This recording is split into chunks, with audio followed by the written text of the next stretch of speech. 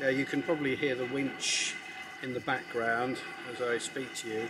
This is Mullion Harbour and it's a, lo a lovely place to come and visit. It's a very pretty port and harbour but it's also a working harbour and uh, there are fishing boats here coming and going at quite regular intervals and today they have been pulling the boats out of the, the harbour. I think they're expecting the weather not to be too good for the next couple of days, so they're drawing them up onto the hard standing here on the slipway really, and uh, they're going to stay here for the next couple of days.